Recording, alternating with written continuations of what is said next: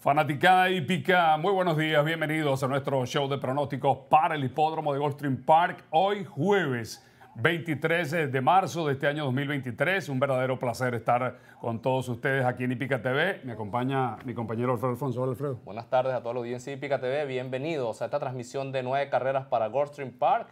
Hoy el Caribe vino con pronósticos, pero vino con el corazón abierto también. Así Vamos es. a ver las condiciones climáticas. Un millón cuatrocientos mil para esta tarde, señores, en el Rainbow Six. Ahí está el clima para hoy, 80 grados Fahrenheit, 27 grados centígrados. La pista principal está rápida, la tapeta normal y la grama firme esta tarde. Eso significa que está rápida la grama. Vamos con los pronósticos del día de nuestro compañero Pedro Casela, desde la primera hasta la novena del programa.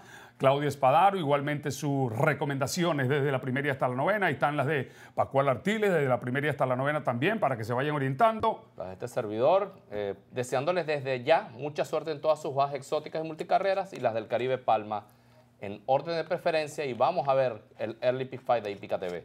Ahí un está. ticket por 72 dólares Caribe. Y improvisamos con una base en la quinta, el 3. No la tenemos como base en el Pick 6, pero queríamos multiplicar en la segunda, tercera y cuarta, así que no nos quedó otro remedio que poner una base en la quinta para hacer un ticket eh, que se pueda jugar. Bueno, me gusta esa base porque me parece que esa carrera decide en dos yeguas, es un uno para uno entre el 3 y el 5. Vamos a comenzar y arrancar con los pronósticos de esta tarde. Un made-in por 35 mil dólares, esta primera del programa, potrancas tresañeras, una milla y un 16 avo en grama, o lo que es lo mismo 1700 metros en grama. Está retirada la número 7. ¿Qué te gusta aquí? Bueno, el número 4, pero usted estaba hablando bastante del amor antes del show y tiene a Love Mami Love, el número 4 como primera selección. Love Mami Love, que viene de perder dos para llorar. En su penúltimo, un cuerpo y cuarto en 1500 metros. En su última, la llevó José Garófalo al tiro de la milla. Perdió a nariz esta yegua. Eh, quedó de super turno. Se perdió en 96 segundos, dos quintos con un Beller de 61 puntos. Es la enemiga a vencer. Y bueno, Irad la repite, insiste, a bordo de esta número 4. Usted tiene al número 3 como segunda marca. Así, yo veo como enemiga a Egos Unit, la, de la que conduce José Luis Ortiz para Danny Gargan, un ejemplar que en su última, en el tiro corto en la tapeta, lo hizo aceptablemente. Pienso sinceramente que en esta superficie, en esta distancia, va a mejorar mucho y puede buscar la carrera. Y el Caribe tiene al número 5, el ejemplar Light and Path.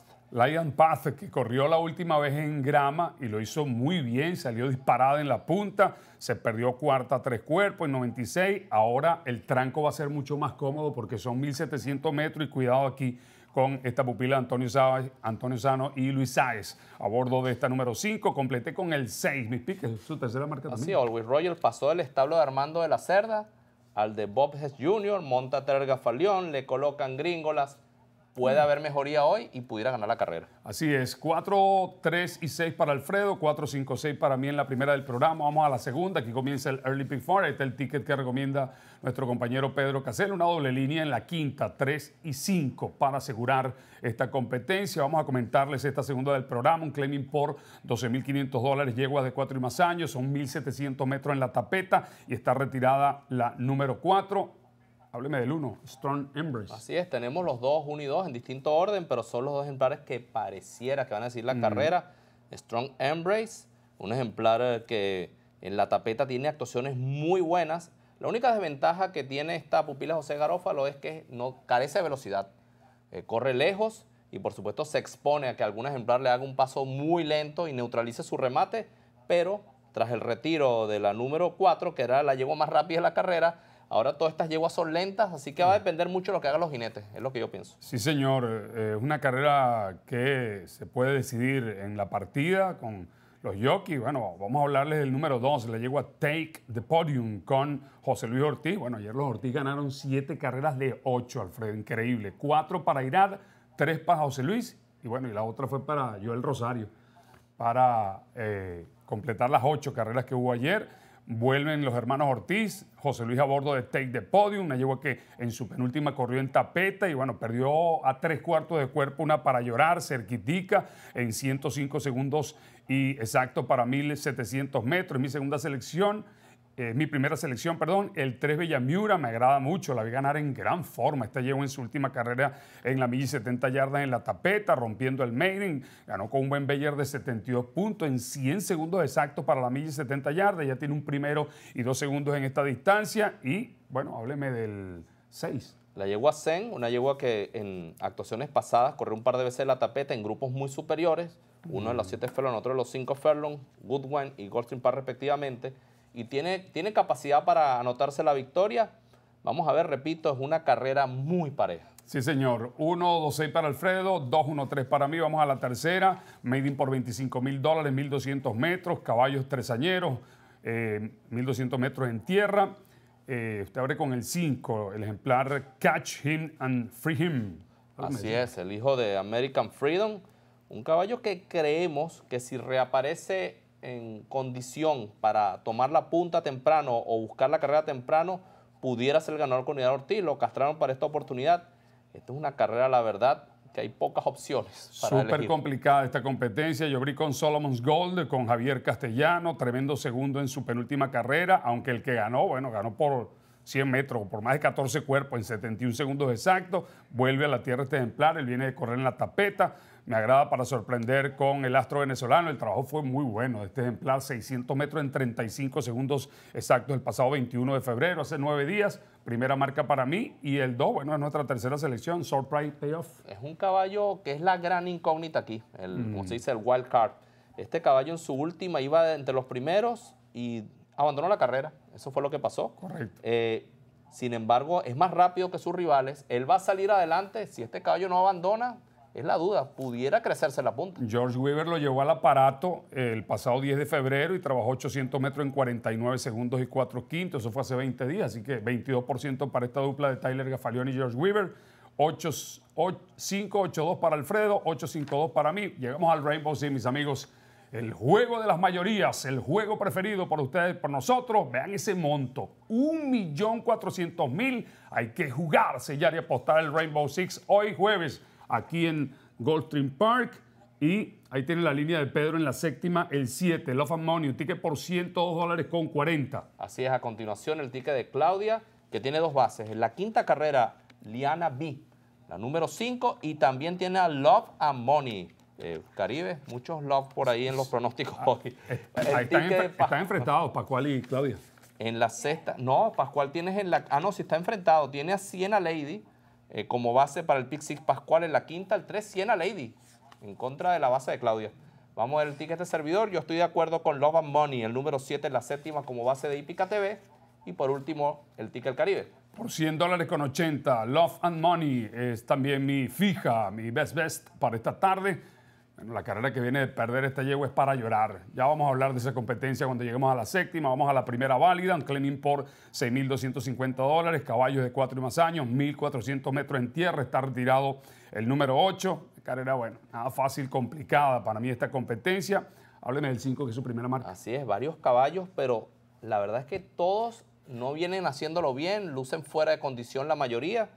El caballo Another Duke, un gallo que militó en grupos superiores, él pareciera que pudiera aprovechar que hay algo de velocidad aquí para rematar al final y obtener la victoria. Por eso lo doy como primera selección. Yo voy a abrir con el 1. Me agrada mucho Fulton Street, el pupilo de José Francisco D'Angelo de Quiquito. Buscó al aprendiz Ángel Morales, le descarga 3 libras. viene de correr con 118 libras, esta tarde con 115. Tiene velocidad, él tiene pulmón porque él ha corrido en el tiro de la milla. Por ejemplo, en su antepenúltima carrera llegó tercero a cinco cuerpos y en su última allá en Tampa Bay Downs llegó segundo a Pescuezo en 1400 metros esta misma distancia, pendientes aquí. Este va a correr en velocidad en punta esta tarde, intentará venirse de tiro a tiro. El 7 es su, segunda, su tercera marca. Así el caballo Rape On. Si revisan la campaña este caballo, él no ha corrido mucho en arena, aunque su, una de sus dos victorias en esta superficie, y cuando ha corrido en arena lo ha hecho bastante bien monta Leonel Reyes y ya sabemos que Leonel Reyes con long shot es un peligro. Por eso como tercera selección. Yo coloqué al 4, NC Parker, en segundo término. No me va a caer con Irado Ortiz, por supuesto. Bueno, yo no me voy a caer aquí. Esta carrera, él tiene carreras anteriores que lo acreditan muchísimo. 1200, en su, hace cuatro carreras atrás, en 1200 metros, se perdió medio cuerpo en 71 segundos y cuatro quintos. Y él tiene un buen segundo en este tiro de 1400 metros en tres oportunidades que ha corrido esta distancia, este pupilo de Raymond Handel. Así que, bueno, yo les aconsejo que multipliquen en esta competencia. Yo no me voy a caer aquí, yo los coloqué todos en mi ticket. Así que llevo uno en el ticket de esta tarde. Vamos a la quinta, Alfredo. Así es, es un Maiden Optional Claiming en 5 furlongs sobre la tapeta. Aquí arranca el Epic Fire, el ticket de Pascual con Siena Lady. la número 3 como su base, un ticket por 67,50. No olviden que Liana B, el 5 en esta misma carrera, es la base de Claudia. Así que hay un enfrentamiento. Yo prefiero en mi Pixie ponerlo los dos. Sí, esto es un uno para uno. Yo coloqué el 5 primer término, Liana B, me agrada muchísimo la, la, línea de Claudia, un ejemplar que va a correr en velocidad, ella viene de perderse a dos cuerpos en 63 segundos y un quinto en la eh, tapeta y bueno, su enemiga Siena Lady, la número 3, que también tiene mucha oportunidad, tremenda performance, tremendo debut. Este trainer José Pinchín tiene 25% de efectividad en victoria cuando va a la segunda del, debut. 5 y 3 deciden para mí, usted tiene el 2 tercera marca. Así es, la llegó a Siena Lady en su debut, voy a agregar algo, ella eh, no tuvo un, un buen brinco. Ella se quedó atrás y al final remató durísimo y se acercó bastante. Correcto. Así que por eso luce con muchísimo chance. Esta llegó a Siena Lady, pero Liana B es bastante rápida. Eh, ayer hubo una carrera donde teníamos todos, básicamente dos o tres caballos, y la velocidad al final colapsó en la tapeta. Los caballos rematadores le pasaron por encima a los Sí, velocistas, y por eso es que decidí colocar a Kiss Up on a Start, un ejemplar que la verdad no ha mostrado mucho, pero en su última reapareciendo mejoró. Irad Ortiz repite la monta, y esto es muy llamativo. Eh, su pedigrí positivo si este 3 y el 5, el 3 parte mejor y busca la carrera temprano y colapsa la velocidad como ayer, yo mejor me cuido con este número 2 que va a venir volando al final. Así es, vamos a la sexta, Alfredo. Así es, eh, son 5 Furlongs sobre la tapeta, ejemplar con precio de reclamo de 16 a 20 mil dólares. Aquí inicia el Pick 4 en eh, Hípica TV, un ticket por 36 dólares y en la séptima al 7 la base de Hípica TV. Vamos a comentarles esta competencia, mil metros en la tapeta, pura velocidad, una carrera pareja también, esta sexta del programa. Bueno, yo voy a abrir con el 4. Fíjense lo pareja que es la competencia. Coincidimos en dos picks. Yo voy a abrir con el 4 Inhalation, el caballo británico, el pupilo Orlando Noda con Javier Castellano, a pesar de que Irad viene de correr y se montó en el 3. Es decir, aparentemente Irad dejó al 4 por el 3, pero este caballo, bueno, el video es espectacular. Se perdió tercero a dos cuerpos en 62 segundos, 3 quintos eh, para la distancia de 1100 metros, con Bayer de 74 puntos. El corre colocado, lo hizo muy bien la primera vez en tapete trabajó 600 metros en 37 segundos, 2 quintos. Voy a abrir con este número 4. Usted tiene el 9, primero. Así es, un caballo que tiene un excelente pedigrí para esta superficie y lo viene haciendo muy bien. Lo bajan de categoría Paco López con Kelly Brin partiendo por fuera. Un caballo que va a correr viendo los velocistas y creo que tiene mucho chance de ganar Caribe.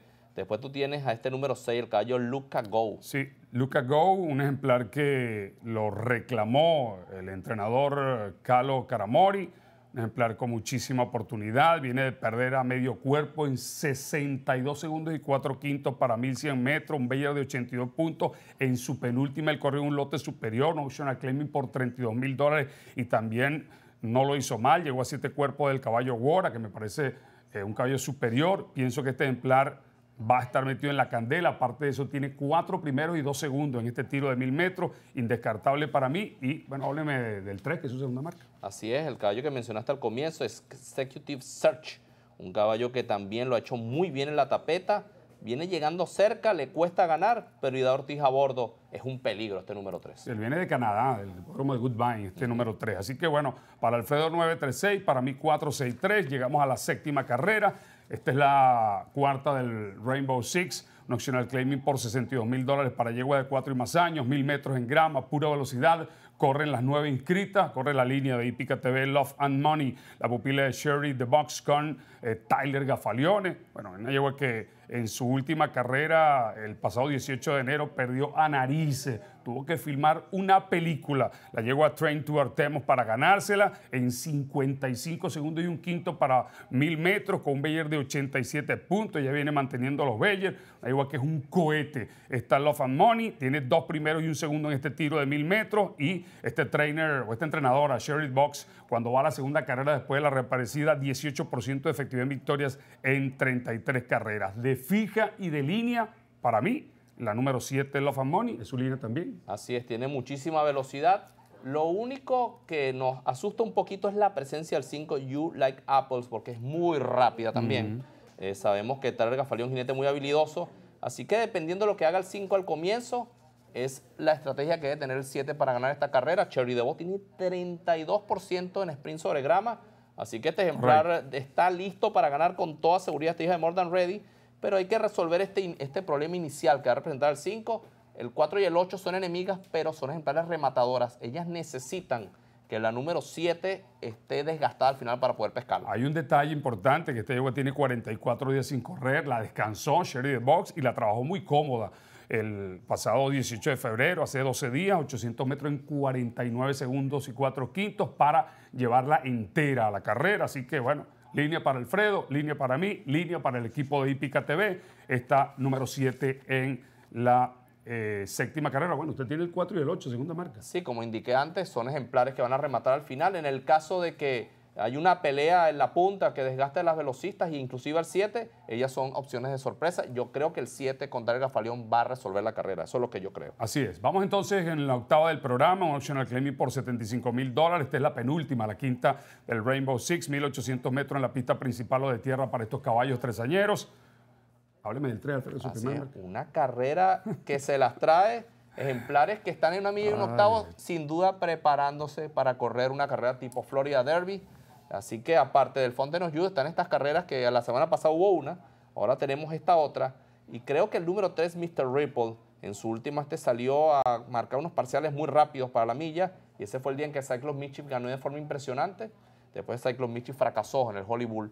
Pero este callo Mr. Ripple merece mucho respeto. Sin embargo, los callos de Pletcher tienen bastante chance. Entre ellos, entre ellos está el número 1 Classic Catch Caribe y el 4 el caballo Point Proven. que es mi primera marca, este número 4, el de Pletcher con Luis Sáez. Luis Sáez lo vuelve a correr, lo corrió en su penúltima carrera allá en Churchill Downs el 26 de noviembre. El caballo ganó galopando, rompiendo el Maiden, Maiden Special Way por 123 mil dólares, metió 110 segundos y 4 quintos para este mismo tiro de 1800 metros con un Bayer de 79 puntos. Eh, Pletcher cuando va a la segunda después de la reaparecida tiene eh, mm, 23% de efectividad en victoria en 498 carreras y bueno, 24% cuando corre en Junta con Luis Sáez, un ejemplar que no le gustó mucho la pista de estampa en su última, llegó cuarto ocho cuerpos. O sea que esa pista de estampa no es fácil, esa pista de tierra es un poquito pesada, los caballos se entierran allá en, en Tampa Bay Down, no todos se adaptan bien a este tipo de superficie, pero